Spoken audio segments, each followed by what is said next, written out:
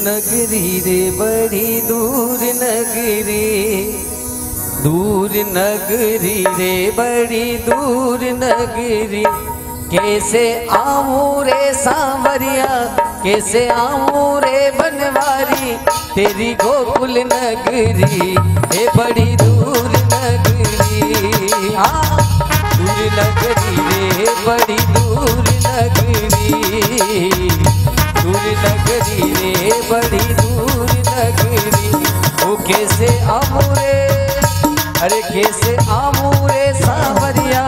तेरी गोकुल नगरी, बड़ी दूर नगरी।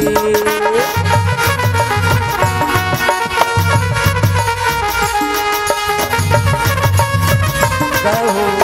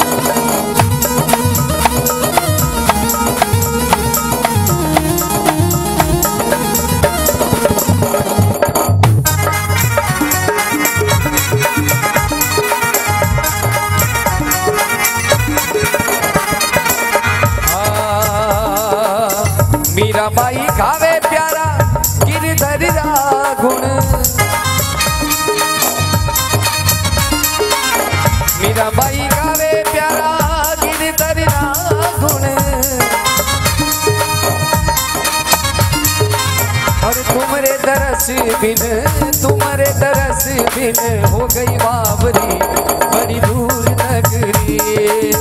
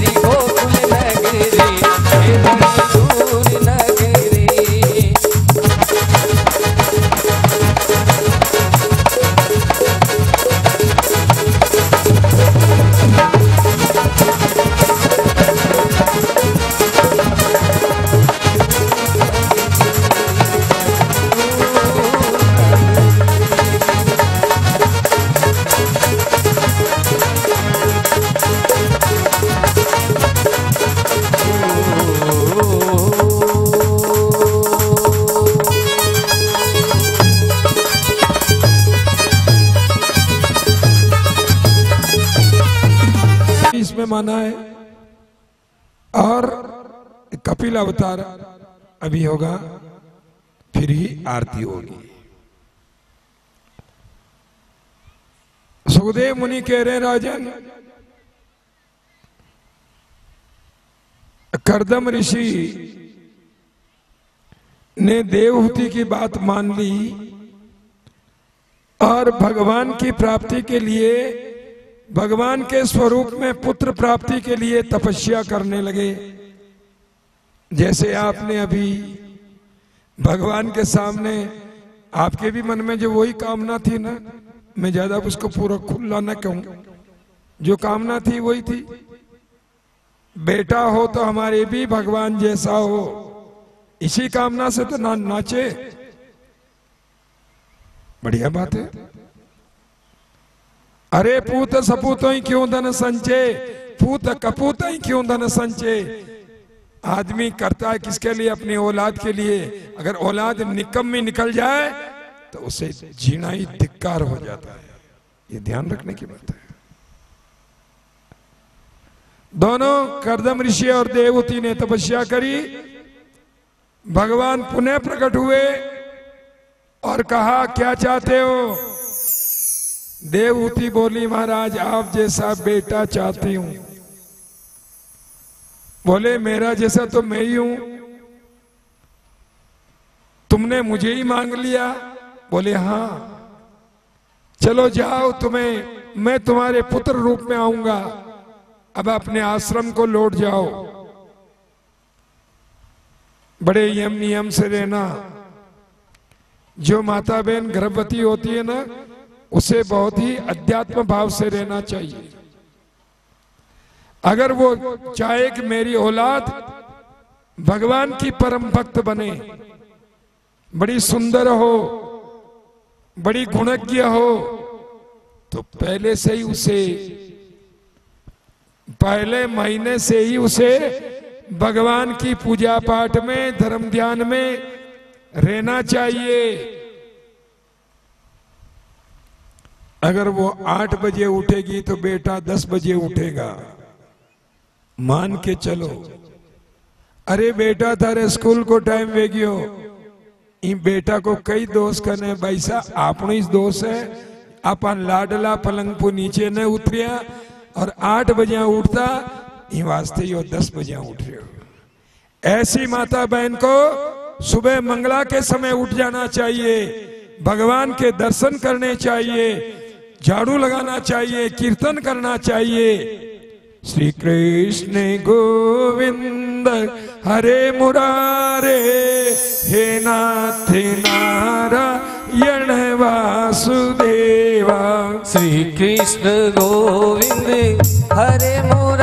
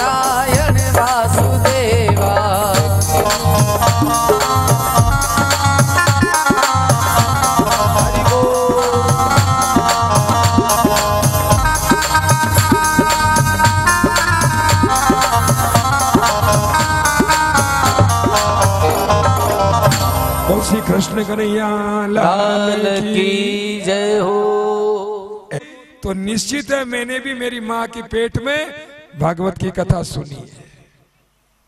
तभी तो ये अभी याद आ रही है। इसका प्रमाण है।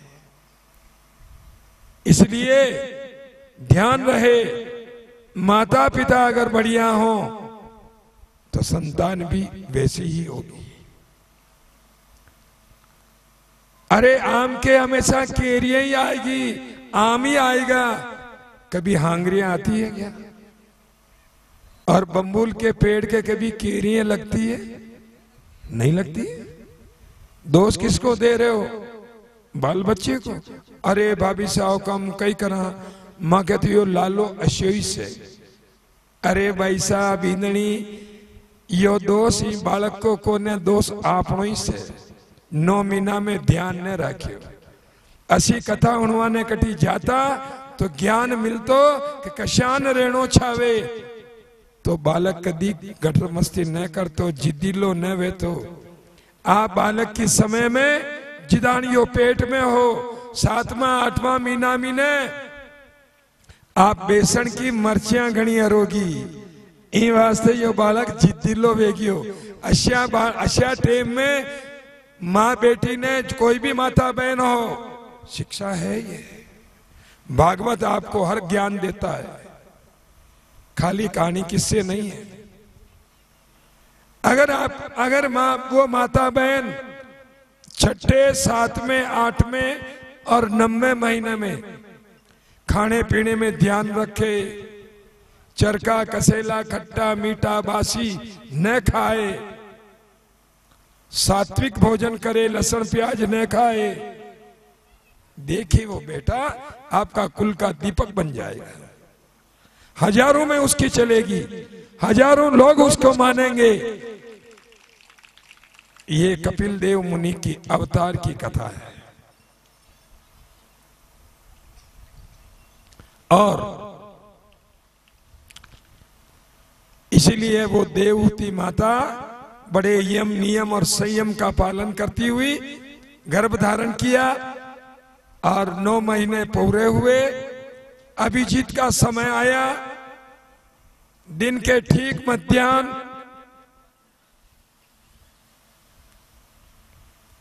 अक्षय तृतीया को, अक्षय तृतीया को कपिल देव भगवान का प्राकट्य हुआ। बोलिए श्री कपिल देव भगवान की। इसी अक्षय तृतीया को हमारे शायद प्रताप जयंती अक्षय तृतीया अक्षय तृतीया को ही है ना? हाँ। मेवाड़ वीर शिरोमणि, प्रातः स्मरणीय, हिंदवाणी, सूरज महाराणा प्रताप का भी जन्म अक्षय तृतीया और कपिल भगवान का अवतार भी अक्षय तृतीया को भगवान का अलौकिक स्वरूप था। बड़े हुए।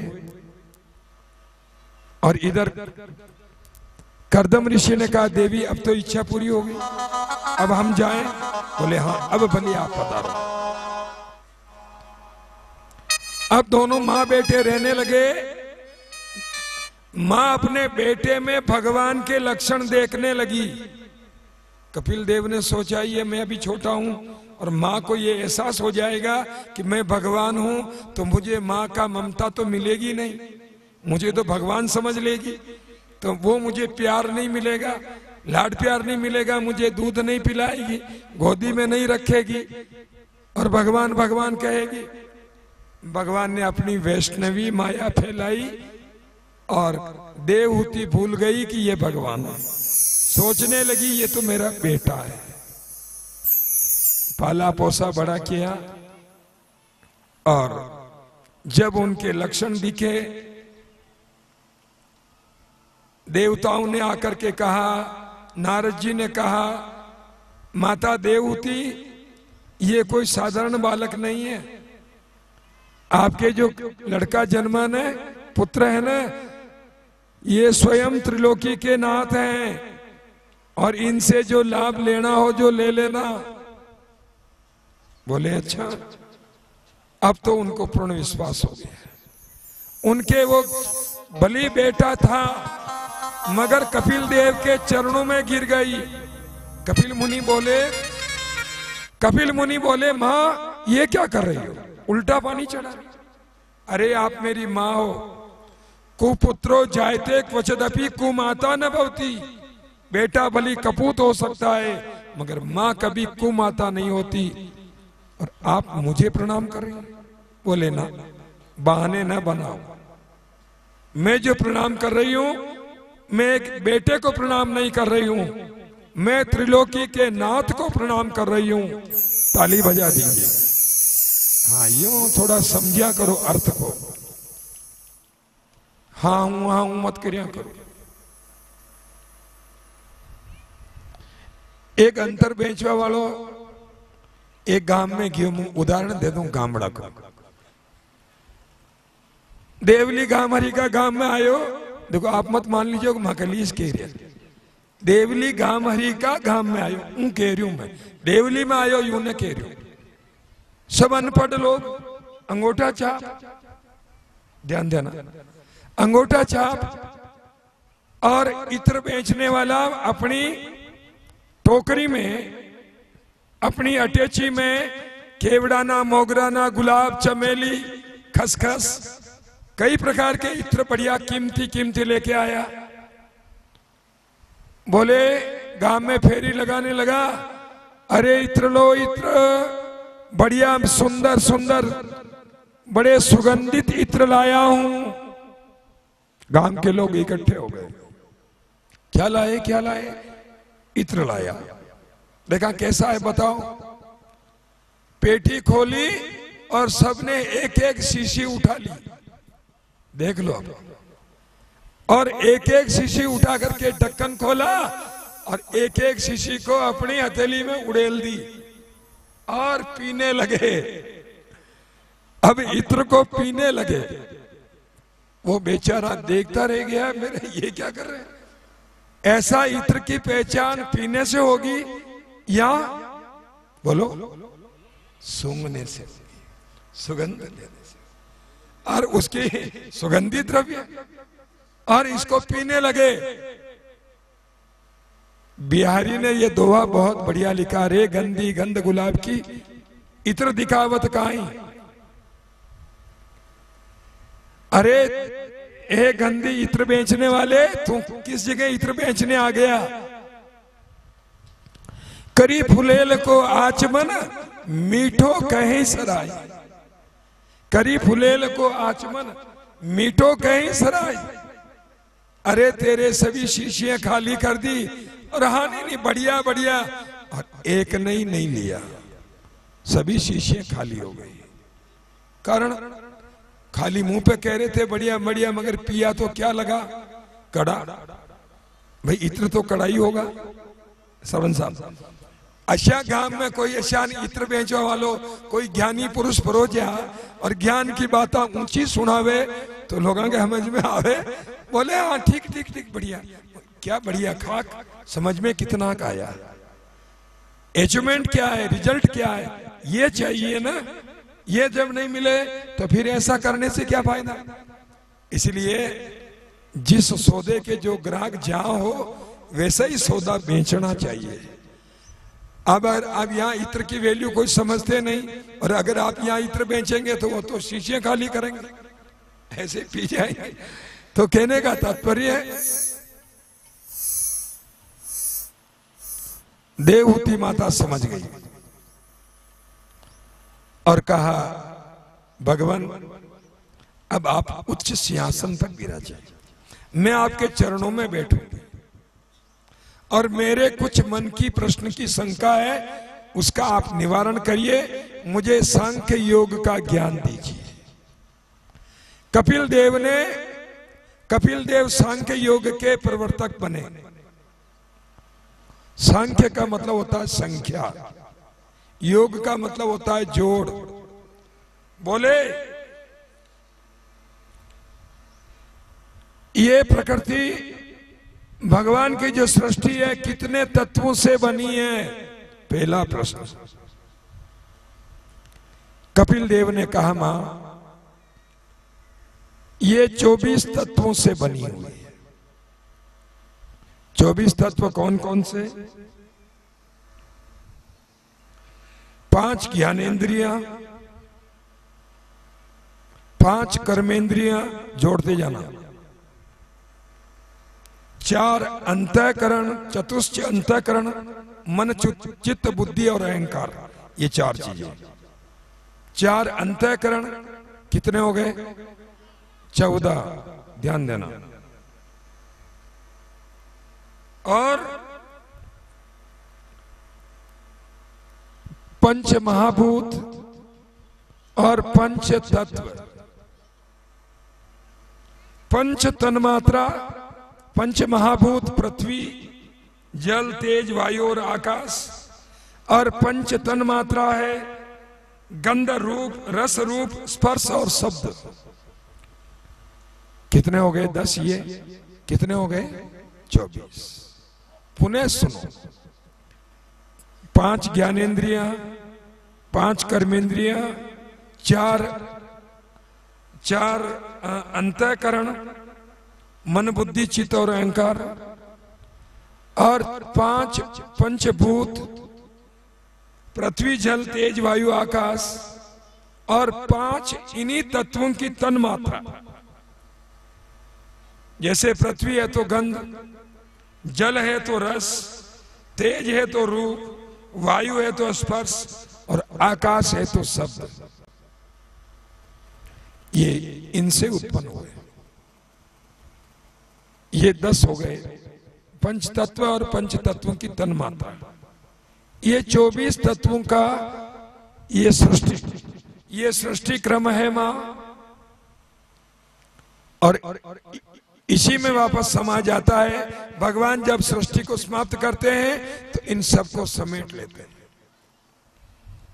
फिर माँ ने पूछा, बेटा, इस जीवात्मा के लिए बंधन का कारण क्या है? दूसरा प्रश्न। कपिल मुनि ने कहा, माँ बंधन का कारण ही मन है। जितना भी बंधन का कारण है, वो मन है। ये मन इतना चंचल है दसों इंद्रियों पर राज करता है। मन ही आपको गलत रास्ते ले जाता है, मन ही आपका खान पान बिगाड़ता है। अरे खाले खाले पीले पीले क्या? थोड़ी सी तो है। एक गिलास ले ले। क्या बोलते हैं उसे? ले ले इतनी सी जाम। ये मन। नहीं नहीं, मैं तो अनुष्ठान में, भागवत में बैठा हूँ। हमारी हवेली में कुछ नहीं चलेगा। ये मन है। मन पे मजबूती कर लो। यहाँ इस परिसर में कोई बीड़ी तमाकू नहीं खाएगा, पिएगा। ये मन है। अरे कोई नहीं देख रहा, ले ले। ये मन है। मगर फिर पकड़ा जाते हैं तो ऐसे, ऐसी बातें हो जाती है। ये मन है। मनो जयती जीतना हो तो मन को जीतो। है ना? मन उथल पुथल हो रहा है। कब गुरुजी विश्राम दे, घड़ी देखने लग रहे हैं, साढ़े छह बज रही है। ये मन है। अरे हमें कहीं जाना है, दूध निकालना, ये मन है। नहीं नहीं, कुछ नहीं, मन नहीं। इंद्रियों को बस में कर लो। हे माँ जैसे कछुआ होता है ना, काचबा, चारों हाथ पैर से चलता है और किसी ने यूँ किया, समेट करके अंदर अपनी खोल में घुस जाता है। ऐसे ही मन को और इंद्रियों को कंट्रोल करके रखो, कहीं जाए नहीं, यहीं रहे। तब जाकर के मन को जीता जाता है, तब जाकर के भगवान के पास जाया जाता है। और तभी ज्ञान होता है, तभी अपना उद्धार होता है। ए माँ, ये जीवात्मा माँ के उधर में नौ महीने रहता है, बड़ी तकलीफ़ आता है, और भगवान से वचन कथन करता है कि मुझे जन्म दे दो, मैं आपको भूलूँगा नहीं। मगर जन्म होते ही कि भूल जाता है कि भगवान कौन होते हैं, जो कुछ भी हूँ, जो मैं हूँ। कपिल देव ने कहा, माता, चार जगह का वैराग बड़ा भारी है। एक तो अस्पताल में, जब आपके नाक, कान, मुँह में नलिए लगी हुई हो, ऑपरेशन हो रहा हो, और डॉक्टर कहता है साहब भगवान को याद करो, हमारा प्रयास है, भगवान बचाएँगे। उस समय याद करता है, हे द्वारिकाधीश, मने बचा लीजिए मुहव्यों ने एक बोरी खांड की प्रसादी कह रहे ये वैराग उस समय आता है।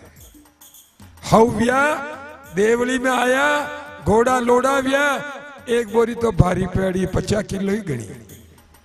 फिर पच्चीस पे, फिर दस पैर फिर पाँच पे। और फिर एक किलो में पाँच पालकिया ने जिम्मा दे। गणो। एक वैराग वो दूसरा वैराग माता का गर्भ में अपन सबने वादा किया हुआ है कि हे भगवान, आप मुझे जन्म दे दो, मैं आपका गुणानवाद गाऊँगा गुणादवाद सुनूँगा। यह मैं आपसे वादा करता हूँ। अब आप कितना वचन निभा पा रहे हैं। मैं तो कोशिश करता हूँ कि मैंने जो वचन दिया मैं भगवान का गुणानुवाद गाता रहूँ जगह जगह सुनाता रहूँ। लोग उसको, वो भी सुनने आएँगे तो उनका भी वचन पूरा होगा। समझ में आ रही मेरी भाषा? हाँ। हमने सबने प्रतिज्ञा कर रखी है। और जो भगवान देख रहे हैं कि तेने मेरे को उस समय तो वादा किया कि महाराज मुझे इस नरक कुंड से निकाल दो, मैं इस जहर में लिपटा हुआ हूँ। नारायण, मुझे जन्म दे दो। भगवान को हँसी आती है। जन्म लेके क्या करेगा? हे जय, ठीक है। बोले, नहीं नहीं, महाराज, अब मैं ऐसे प्रभु को नहीं भूलूँगा। फिर दया आ जाती है। वादा कर रहा है? बोले हाँ। जहाँ भी कथा होगी, मैं दौड़ा हुआ जाऊँगा। लादूलाल जी का टपरा गया अच्छा है तो से आमली तो नहीं पाई हाँ। और मैं आपका लीला चरित्र कथा श्रवण करूँगा। मगर भगवान देखते हैं कि कितना सुन रहा है। मोह माए जाल में फंस गया। और इधर फिर भी प्रभु को दया आ जाती है। प्रसूति पवन का झटका लगता है माँ। और उस जीवात्मा का जन्म हो जाता है। मगर वो जीवात्मा नन्याणु के चक्कर में भगवान की वैष्णवी माया में फंस जाता है और भगवान को भूल जाता है। भगवान को भूल जाता है। और अंत में नरक में चला जाता है। फिर पछताता है अरे मैंने मनुष्य जन्म प्राप्त करके मैंने हरि को नहीं भजा। भगवान की लीला कथा अमृत पान नहीं किया। और अंत में मुझे चौरासी लाख नरकों में गोता लगाने पड़ते फिर वापस पाप और पुण्य बराबर होता है, तब जाकर भगवान मनुष्य जन्म देते हैं। फिर वादा करता है, फिर भूल जाता है। ये भगवान की लीला है। और इसलिए माँ, भगवान का भजन सर्वोपरि है। कलो केशव कीर्तनम, कलयुग में केशव का कीर्तन ही सर्वोपरि है। और फिर मनुष्य जन्म प्राप्त करके माँ, प्राणी को मन पर नियंत्रण रखते हुए, इंद्रियों को वश में रखते हुए, भगवान का हरि भजन करना चाहिए, तभी मानव जीवन लेना सफल होता है। और ऐसा विभिन्न तत्वों की उत्पत्ति के बारे में बताते हुए, मन का बंधन बताते हुए, नरकों की और जीव की उत्पत्ति के बारे में बताया। फिर भगवान कपिल देव ने अष्टांग योग की विधि बताई कि भगवान के दर्शन करने जाते समय दर्शन कैसे करने चाहिए। मैं बता दूँ आपको, समय ज़्यादा हो रहा है, मगर सुन लो। मंदिर में जाओ ना तो भगवान के चेहरे पर कभी निगाह मत डालो। क्या करें? सबसे पहले निगाहें हजूर के चरणों में नखों पे पड़नी चाहिए। फिर घुटनों पे आइए, फिर कमर पे आइए, फिर वक्ष स्थल पे आइए, फिर दाढ़ी पे गले पे आइए, फिर दाढ़ी पे आइए, होठों पे आइए, नाक पे आइए, आँखों पे आइए फिर ललाट पे आइए, फिर मुकुट पे आइए। ऐसे दर्शन करोगे तो आपके मन में पूर्ण दर्शन की लालसा जागृत हो जाएगी। मानव का स्वभाव क्या है? डायरेक्ट चेहरा देखना। डायरेक्ट चेहरा देखना। भगवान को चेहरों पहली देखे। नहीं। नीचे से चलो। इसको अष्टांग योग विधि दर्शन कहते हैं। ये बताया और नरे जना तो मंदिर जावे ने, दर्शन करवाने। दो लगे, चल दिए। मंदिर के नीचे उतरियान पूछे, भाया, आज भगवान कश्यो वागो धारण कर में लियो अरे, बाबूजी, मैं तो ये तो ध्यान ही नहीं रखी कई दर्शन की दर भगवान का संता जो ठाकुर जी ने कई वागो, कशा रंग को वागो धारण करायो, यो तो मैं ध्यान में रखियो तो फिर क्या दर्शन किए? दर्शन करो भगवान के मंदिर में, जी भर के करो और अष्टांग योग विधि से करो। ऐसे दर्शन का विधि बताई। फिर माँ को कहा, माँ, अब तुम्हें मैं जा रहा हूँ और ऐसे भगवान की भक्ति करते हुए सालोक्य, साष्टी समीप्य, सारूप्य और सायुज्य, ये चार प्रकार की मुक्ति तुम्हें मिल जाती है माँ, भगवान की भक्ति करते हुए। और फिर फिर सो जो है, बिंदु सरोवर में जाकर के स्नान करो। ए माँ, तुम्हारा भी भक्ति करते हुए कल्याण हो जाएगा। और कपिल मुनि माँ को प्रणाम करके, गंगा सागर जहाँ गंगा और समुद्र का संगम है वहाँ पर जाकर के तपस्या करने लगे। बोलिए श्री कपिल देव भगवान की। जय हो। ये कपिल उपाख्यान। इदम ये इदम शृणोति योदितम कपिल मुनेर महात्मयोगय्यात भगवतीम कृतदेम सुपर्णम केतम सुवल्लभते भगवत पदारविंदम उन्हें भगवान के पदार पदारविंद नाम चरणार बिंदों की भक्ति प्राप्त होती है। ये सांख्य योग का, भगवान का कपिल अवतार की कथा, माता देवती और करदम ऋषि का चरित्र की कथा, जो कोई सुनाता है या सुनता है, उनकी पूर्ण मनो इच्छा पूर्ण होती है।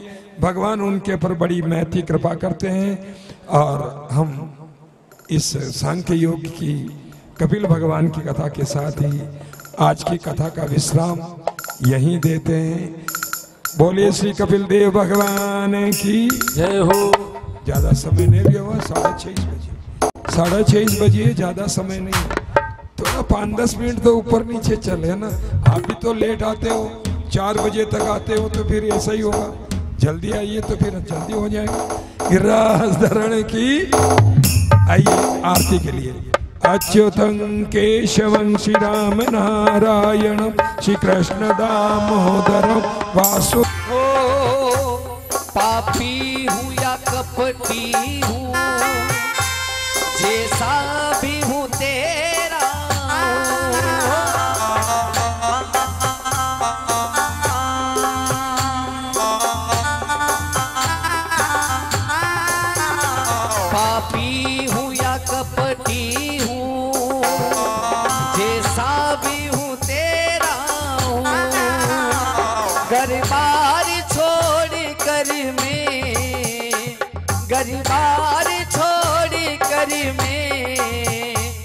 जीवन में अकेला हूँ, दुख का मारा हूँ मैं।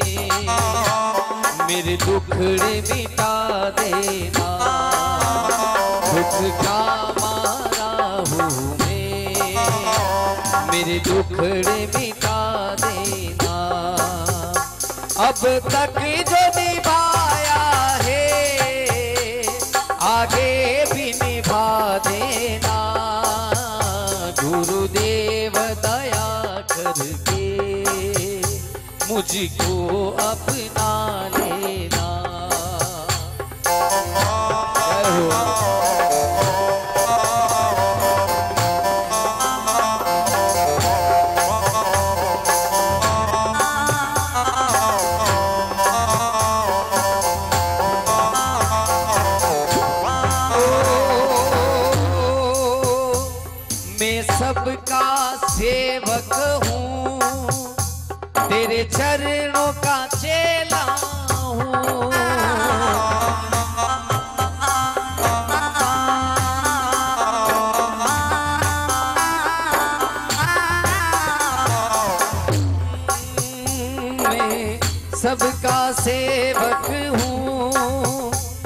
तेरे चरणों का चेला हूँ नाथ, भुलाना मुझे।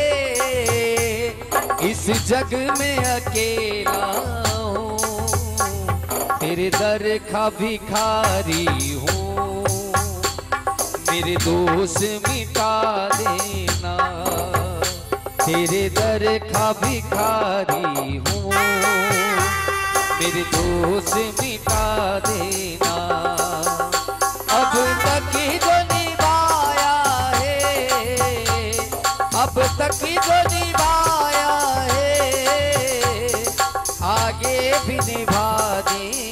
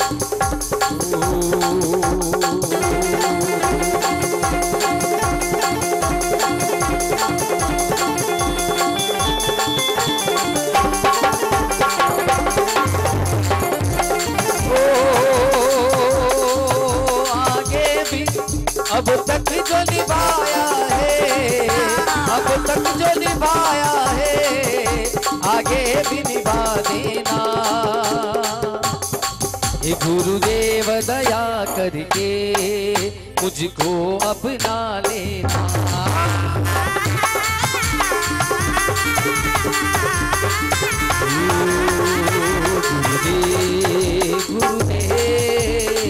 आदिनंद कुमारा तुम्हें सदा नमन हमारा तुम्हें सदा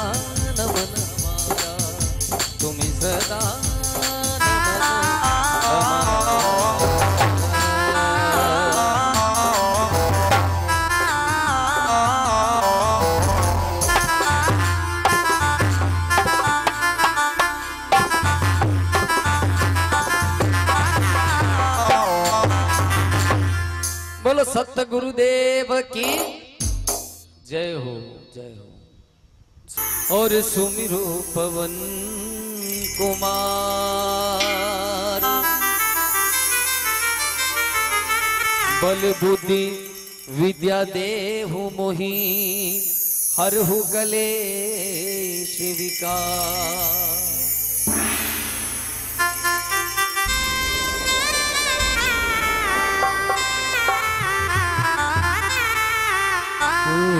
जय हनुमान ज्ञान गुण सागर, जय कपीश तिहु लोक उजागर।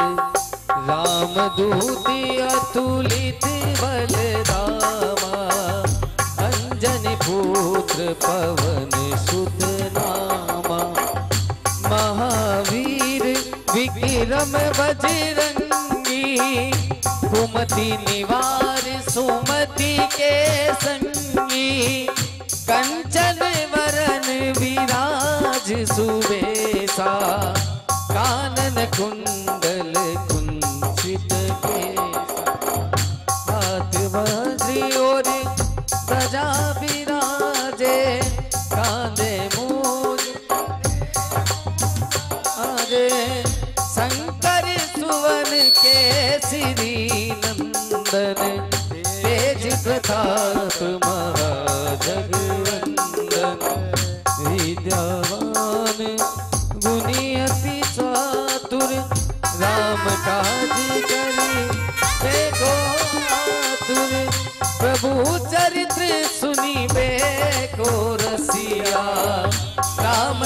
लखन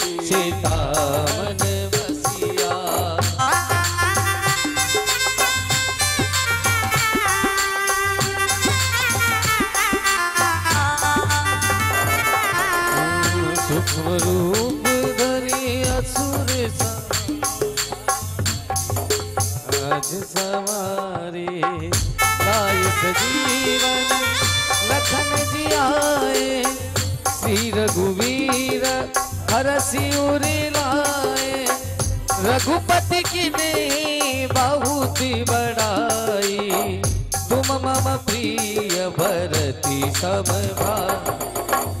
सहस बदन तुम रो यस गावे। अस कही श्रीपति कंठ लगावे। सन सनकादिक ब्रह्मादि मुनीसा नारद सारद सहित यम कुबेर दिग पाल जहाते कभी को विधि कही सके कहाते तुम उपकार सुखी, वही कीना। राम मिलाए राज पद दीना। तुम रो मंत्र विभीषण माना। लंकेश्वरी भय सब जग जाना। जुग सहस्रियो, जन परिभानु लीलो ताही मधुर फल जानू। प्रभु मुद्रिका मेली मुख माही, जल दिला दे गए अचिरजना। दुर्गम काज जगत के देते, सुगम अनुग्रह तुमरे देते राम दुआरे, तुम रखवारे। ओ तन आजा, बिनु पेसारे सब सुख लहे तुम्हारी सरना। तुम रक्षक का को डरना। आपन तेज समारो आपे।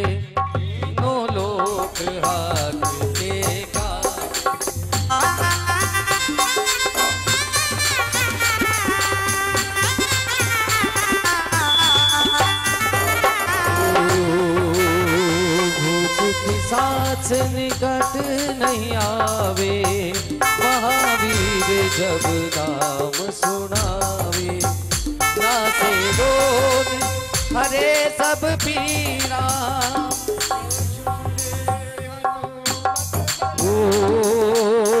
जपत निरंतर हनुमत वीरा। संकट ते हनुमान छुड़ावे मन क्रम वचन ध्यान जो लावे। सब पर राम तपस्वी राजा, इनके काज सकल।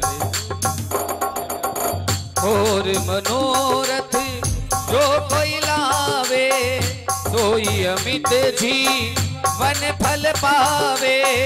चारों जुग पर ताप तुम्हारा हे जगत उजिया। साधु संत के तुम रखबारे असुर निकंदन राम दुलारे, अष्ट सिद्धि नव निधि के दाता असवर दीन जान की माता। राम रसायन तुमरे पासा सदा रहो रघुपति के तुमरो भजन राम को पावे जन्म। अबे अंत काल रघुवर पुरी जाई। जहाँ जन्म हरि भक्त कहाई। और देवता चीतन धरई हनुमत से सर्व सुख करे। संकट कटे, मिटे सब पीरा जो सुमिरे, हनुमत बलवीरा। जय जय जय, हनुमान गोसाई। कृपा करो गुरुदेव की नाय जो सतबार पाठ कर कोई, छूट ही बंदी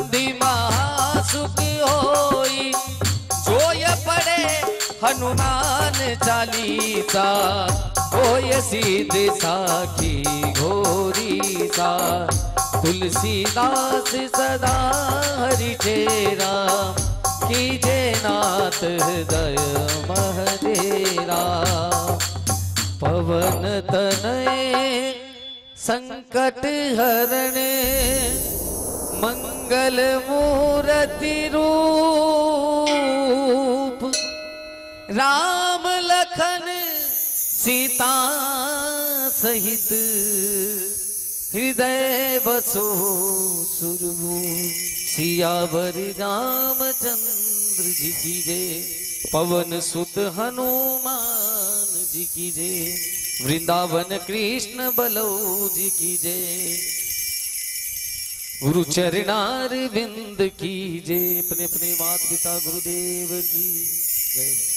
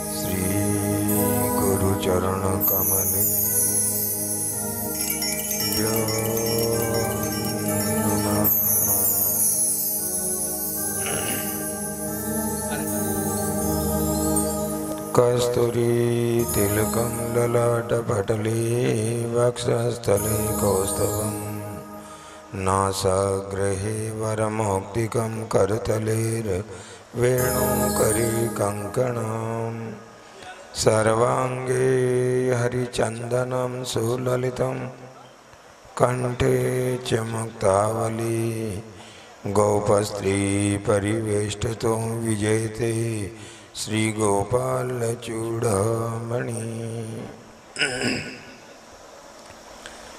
कृष्णाय वासुदेवाय देवकीनन्दनाय च नन्दगोपकुमाराय श्रीगोविन्दाय नमो नमः। श्रीगोविन्दाय नमो नमः।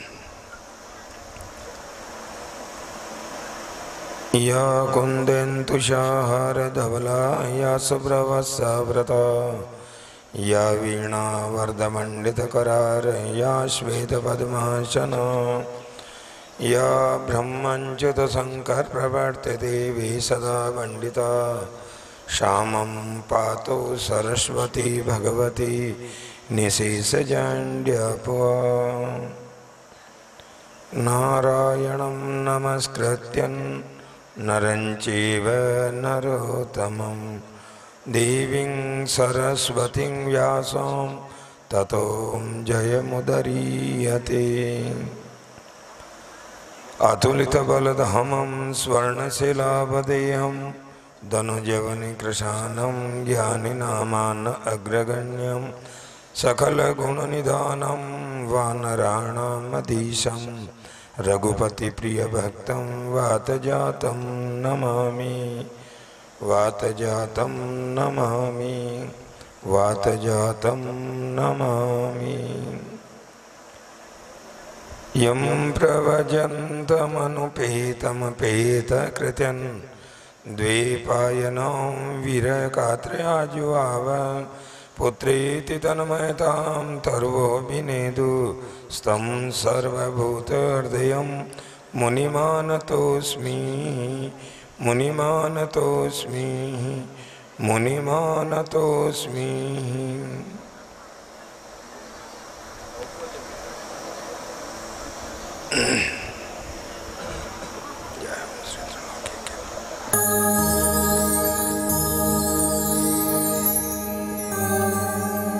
बोली श्री चार उजा नाथ की जय। बोली श्री कृष्णचंद्र भगवान की जय। बोली श्री शंकर भगवान की जय। बोली श्री हनुमान जी महाराज की जय। बोली श्री चावंड महारानी की जय। बोली श्री सनातन धर्म की जय।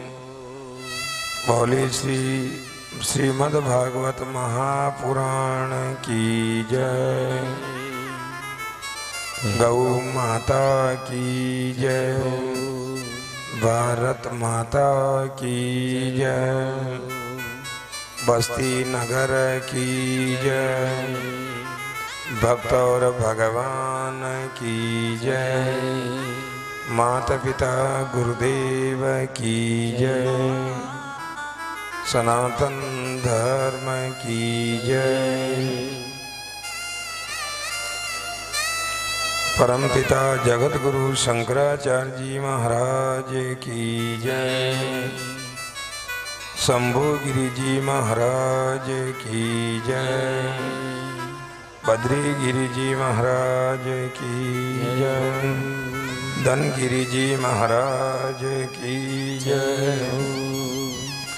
जय गिरि जी महाराज की जय। गुलाब गिरि जी महाराज की जय।